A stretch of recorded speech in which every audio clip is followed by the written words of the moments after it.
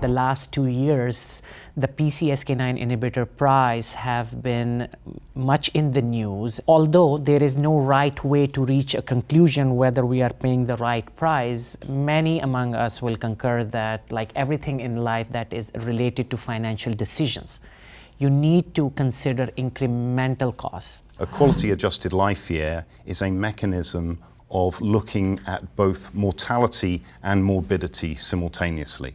So conceptually, I think it's a very powerful tool. It thinks of health in a very two-dimensional way, as I say, morbidity and mortality, uh, but in a way that allows us to compare the value for money across disease areas. Now, as someone who sees patients and also engaged with population health management, my focus and emphasis is rather than talking about prices, we need to talk about value. And I know there is a lot of emphasis on coming up with numbers like incremental cost effective ratio for the quality adjusted life year you mentioned. And it should be around fifty to $150,000. Those are the terms that our cardiologists and also management cares are having those conversations. How do we get there? Well, with PCSK9s, if you think about the MACE outcome that is part of both of the outcomes trials, there is a, both a mortality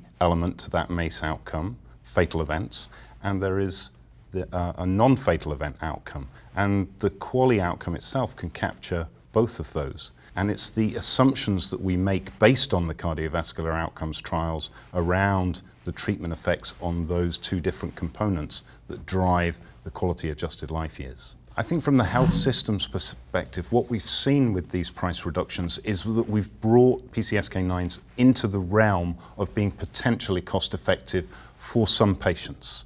They're still not going to be cost effective for every single patient and, and, and possibly not every single patient recruited to the FOURIER or Odyssey trials. But nevertheless, within those trials, if we focus on the high risk patients, it's going, it will be clear that for many of those patients, they will now have value from uh, taking a PCSK9.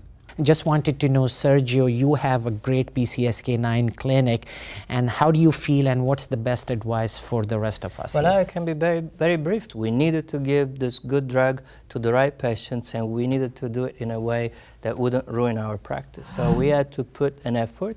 Uh, as you said, we put personnel like a physician assistant and a clinical pharmacist and a nurse uh, together with a medical assistant to work with a standardized way of adding to the paperwork that the insurance um, gives you with the idea of this is not enough. They give you uh, a questionnaire to fill knowing that that will raise questions. And that's the basis for the back and forth, the denial, the fatigue that they will produce in practices. We adopted a stance like, no, if the patient qualifies, we will get him qualified. So you will be fatigued before us.